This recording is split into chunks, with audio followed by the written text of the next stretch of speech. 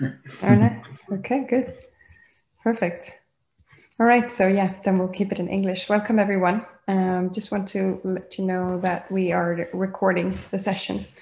Um, so just good to know. This is the AI POC:et Fika. My name is Eva Josefsson Lindqvist and I'm project manager for the Data Factory at AI Sweden. And the purpose of the AI POC:et Fika is um, to share some knowledge from um, use cases that have been using the Data Factory. And today we have invited John, who has worked uh, together with Göteborg Film Studios on a very interesting project in the Data Factory. So, John, please go ahead. Yes, uh, yeah, uh, my name is John, and uh, I've been working at the Data Factory together with uh, Gothenburg Film Studios in order to um, streamline the deepfake uh, process to uh, to fit well for uh, for professional uh, filmmaking. Um, so I guess I'll just talk a little bit about first the deepfake software and um, some a little bit about the work I've been doing at the Data Factory with this and how it has helped us in, in this process. Um, first of all, uh, I started working with it in 2019 or 18, I think, uh, for the uh, short film project Grab Them, where we used it um, as a tool to to uh, to deepfake uh, the main uh, actress in the film. And this was the first time, as far as I know, that it was used in a in a professional sort of production um, at least for, as a short film production that would be sent on on a, on a cinema screen. And uh, we pretty quickly then noticed that while we could do it fairly well, it, the program lacked some um, some uh, uh, traits needed for uh, for professional film, uh, like resolution, especially in close-ups and so on, was lacking. Um, speed was a bit lacking too and um, also it didn't really fit with the uh, post-production pipeline that goes on in in, uh, in professional filmmaking, where you have color graders and so on, um, who wants data in, in specific ways that, that we couldn't provide then. So we had to do quite a lot of compromises, and we decided afterwards that we should try to develop this uh, or streamline it rather uh, to fit this process better. And since I'd been working with it a bit then, uh, I got tasked with doing this. And already then we worked together with the, Data Factory. We used their DGX, I think, one box with a V, uh, uh, V100 cards in there, um, which was pretty quick. And when we actually started working on this development a year or so later, uh, they had upgraded their hardware to these new A100 uh, cards and that we started running on. Um, a lot of the process in the beginning there was to try uh, to train these models and see uh, how performance and so on was affected by these uh, this better hardware. Uh, where we could see quite a, a lot of improvements. Uh, we trained during this film project on the old cards, the model with a resolution of 192 uh, by 192 pixels and it took about a month to train a model. And uh, doing the same thing on these new cards uh, took only a week. So it was a, a significant improvement um, uh, running on these new new cards. I think I'm going to actually go through maybe the software a little bit, just explain how it works and so on. Um, and then go through uh, some of the stuff that we have tried to do with it um, so essentially, it's open source software called DeepFace Lab. You find it on GitHub, and uh, it's a it's it's a pipeline of uh, uh, the whole process of, of this mean, so it's a, a, couple of main three main components essentially. There's a face detection component, um, uses uh, well face detection algorithm, a neural network um, called a single shot scale invariant face detector, uh, which is an anchor based detector, uh, which is adapted to work better for, for small faces than uh, other uh, former anchor detectors. Um, and then, uh, of course, also all of these things, it is created in a way that you can easily modify and swap what kind of algorithm and so on you want to use. So if you want to use another kind of facial detect, that's pretty easy to, to put into this pipeline and, and streamline for, for your own use, I guess you could say. Um, after the, the facial detection, there's a uh, face alignment phase where you try to align the face since we're working uh, with a film. The data we put in, essentially we take a, a, a video, let's say we cut it into the frames. So each frame then is an image which are put in as data.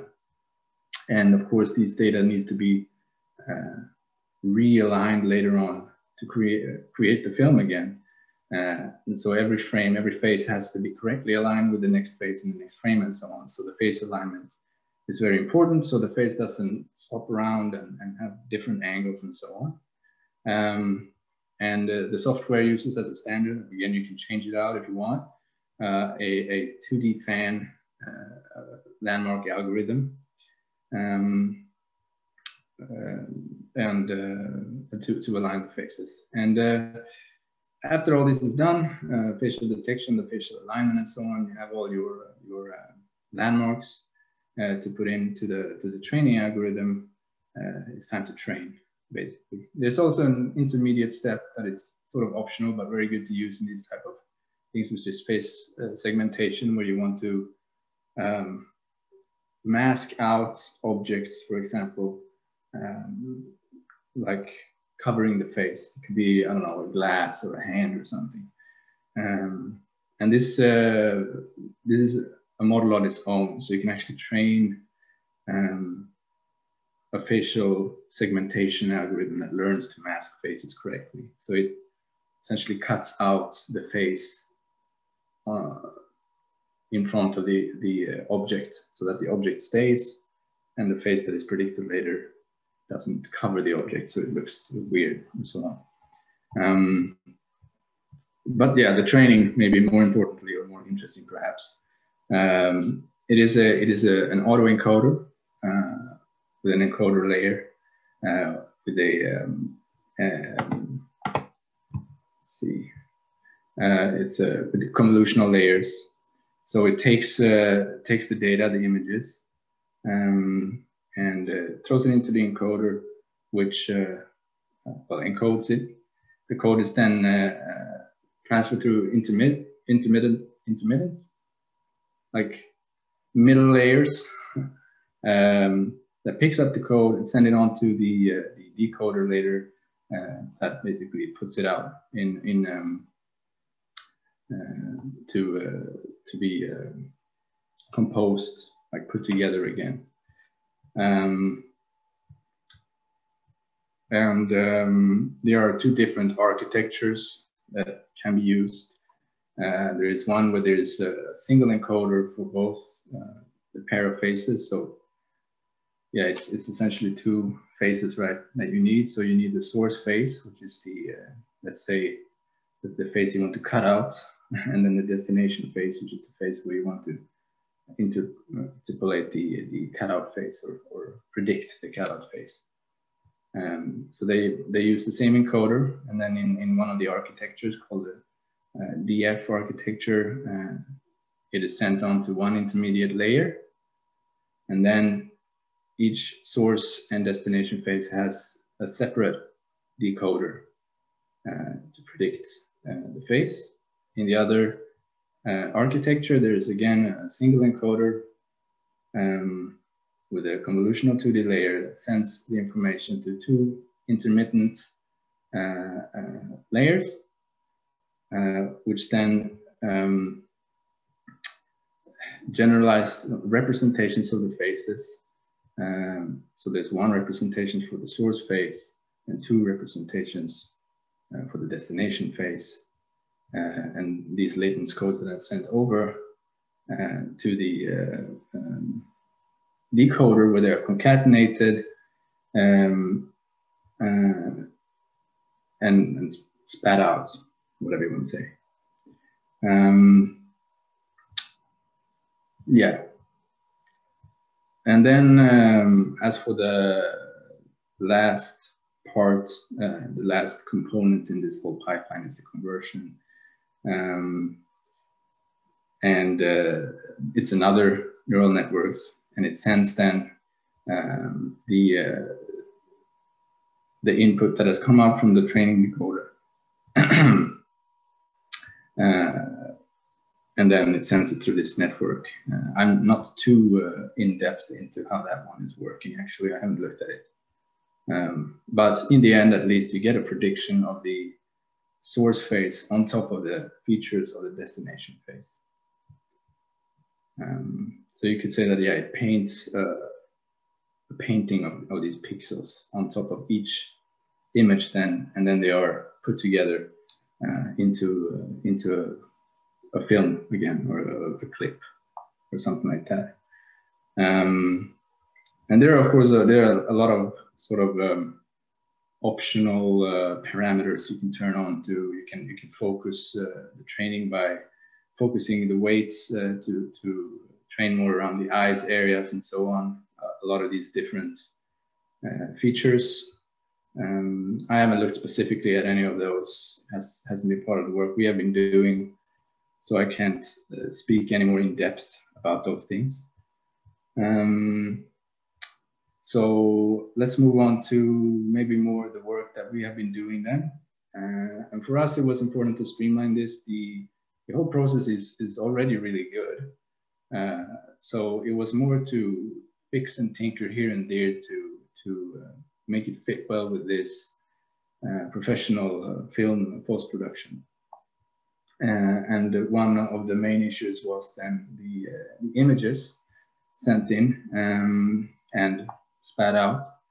Uh, there was some, they're, they're pretty um, uh, compressed and so on in order to, uh, to efficiently handle them. Like the network cannot train on, on too high quality images anyway, or, or you don't get anything out of it. It just takes longer time, takes more memory, and it cannot learn all these uh, nuances in a face. Um, so it was compressed along the way a lot, and uh, what comes out is not very optimal for, for example, a color grader who needs a lot of um, colors and so on in, in the image color information that is lost during this compression.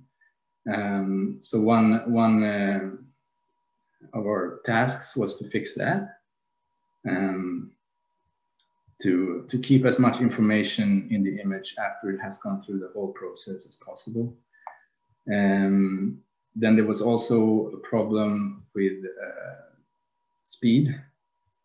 Um, we wanted to, to uh, be able to train this as quick as possible, which can be important, especially if we want to sell this as like a product.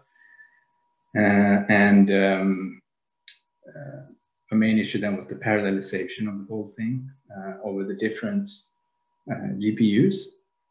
And we encountered quite some problems in that department. Uh, it is parallelizable uh, to uh, theoretically as as many cards as you need, as long as you have sufficient batch size. So it parallelizes the data. It's it's, uh, it's, it's the batches that sent in, so the images that gets um, divided up among the different cards. Um, well, we encountered some problems where, uh, for some reason, after going up to a certain amount of cards, um, we got uh, memory issues, like the, the first GPU where a lot of the uh, optimization information was stored, went out of memory, even though it had worked with lesser cards. So something going on there, which is currently a work in progress actually to fix that. Um, but we can run parallel up on up to six cards, I think, but then it goes goes wrong. Um, we also had the resolution problem, uh, which is again a, a, bit of a memory issue and a speed issue.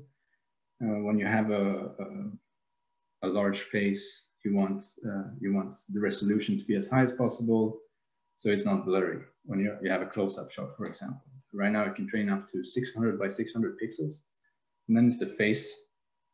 Yeah, yeah that gets uh, trained. Then that is that amount of pixels. So if you have a a screen, a, a, film clip, you maybe have a full HD or something, so you have 1024 pixels by, I don't know, 920, whatever it is. then this 600 by 600 pixel space that you can train uh, is still a, a pretty large part of the screen. So we can do it up until a, a pretty um, pretty big close-ups, you could say. Uh, but full, very close-up pictures are, are still an, an issue. Uh, not only in the resolution department, but also in the fact that it's hard for the network to train it as, as detailed as you might want uh, in that kind of um, um, close-up.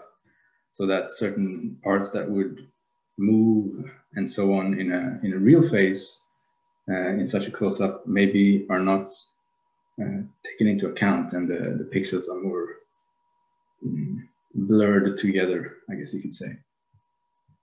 And these are also still work in progress to, to sort of try to, to fix that and make it better. Um, yeah, I think uh, that's what I can think of right now uh, in terms of what we've been doing and so on. Um, I guess questions maybe would help me out, perhaps. That's a good idea. Do we have any questions? I can also let you know that we do have um, the producer with us, Paul. You're also on the call. So if there are any questions on, on that end, that's okay as well. Hi, yeah, I have a question. Yes, please, Olaf. Uh, Johan. now, uh, oh, sorry. I'm, sorry. I'm like curious if you have any like images of like where it failed that you could share. Sorry, again. Do you have any like uh, examples of like what it looked like when it failed? Uh, that I can share here, you mean? Yeah. Let's see if I have something. I'm not sure actually. While you look at that, I, I have put the link um, to the film that is on SVT Play if you want to have a look. It's a yeah. short film of 20 minutes. So there at least you see the final results.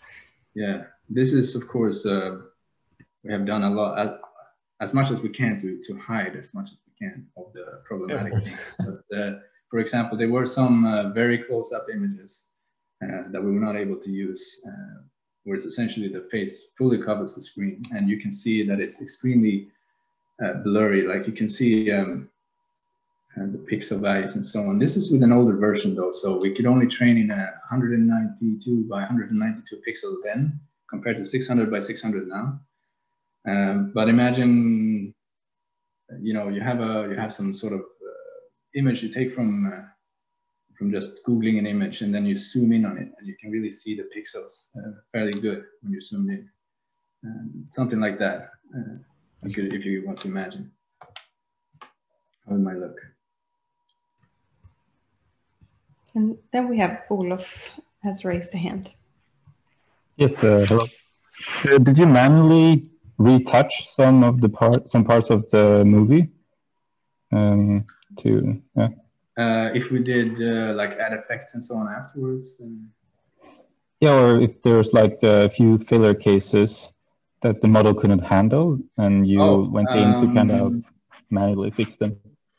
Not really, actually. It could handle almost everything. You, there were some stuff that we couldn't take because um, the face was too covered. Like uh, one uh, issue is that if, if you if the facial detection fails, like you cannot find a face at all, then this image will not be trainable.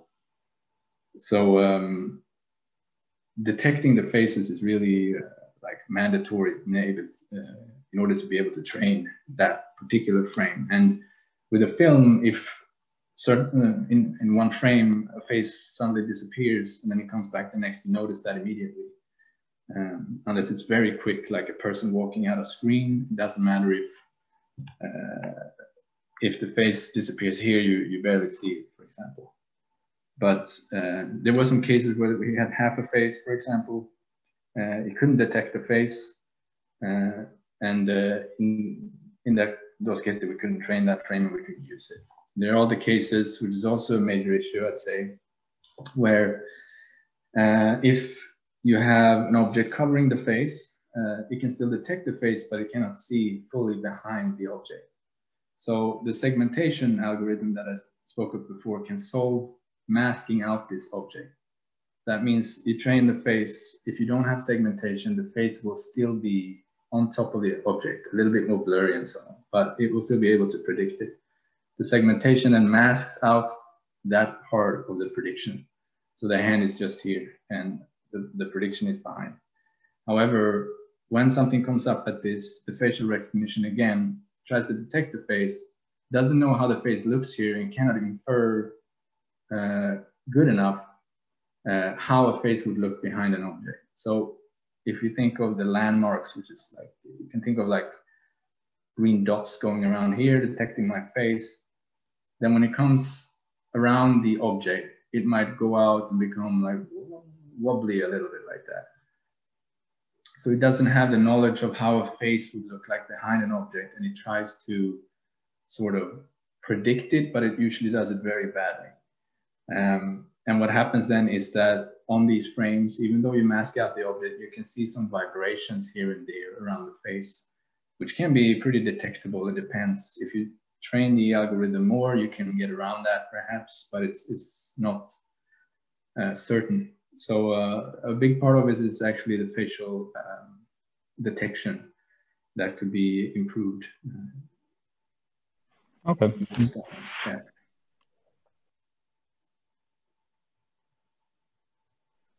Well, I have a, a question to Paul, was it the producer? Um, Go ahead. So, how do you plan uh, for a movie like this when you're not entirely certain how well the face swapping will work uh, ahead of time?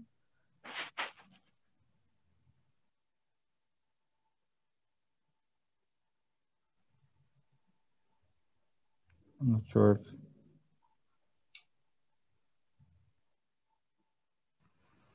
Paul, are you?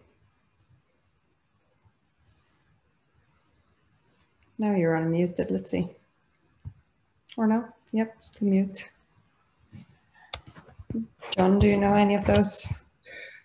Uh, do I know how? Man, I don't know. I'm not sure uh, I can speak for for Paul there really. Um, I guess a lot of bravery. I guess so.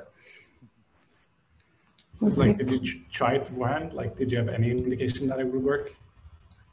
Uh, no, no, we were just we just uh, threw ourselves into it and hoped that uh, we could do the best. We did some, I mean, initial testing, but um, it was it was really just a learning uh, experience on the journey when we made the first the first film there, and uh, a couple of different tries to see what didn't work out, what worked out. I hadn't looked anything into the code or so on at that stage or how it was built. So it was, uh, yeah, just continuous uh, uh, learning. And we had about six months or so to, to finish it off. So it was, uh, um, was a lot of work during that time.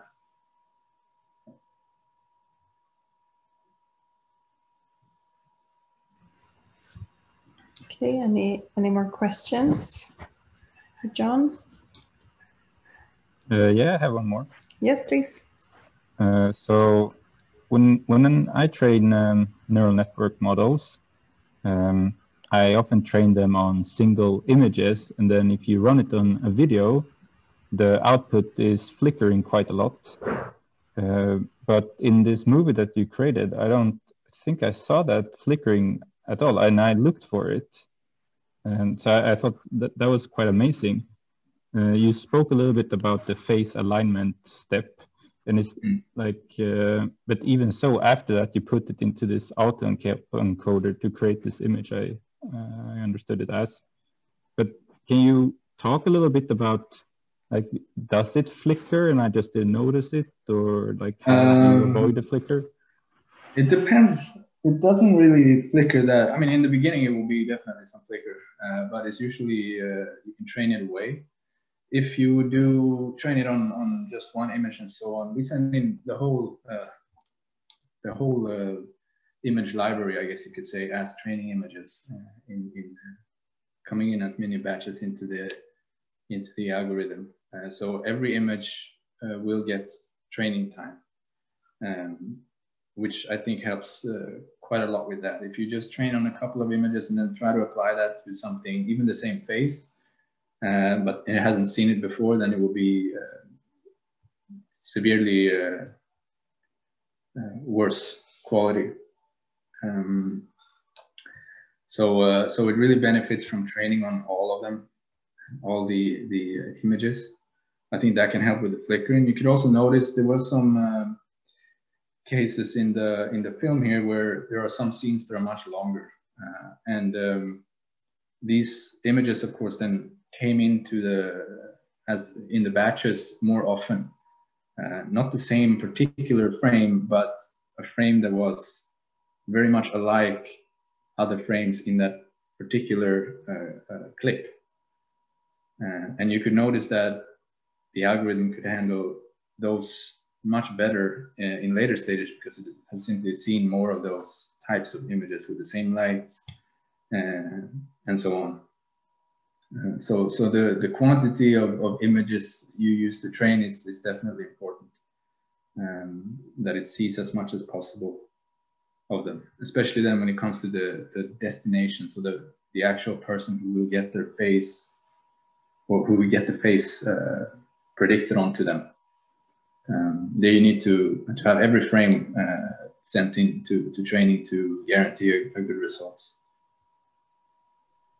Okay, makes sense, I guess. All right, we're already at uh, 3.30. So I want to say thank you so much, John, and thank you to everyone listening in. Um, great, we'll see if we have another uh, Fika in, in two weeks. Uh, we'll post it on AI Sweden's website if so. Uh, but thank you so much and have a really nice weekend. And now you do have um, the film session for tonight saved uh, with the one film to watch at least. So happy Friday, everyone. Thank you so much. Thank you.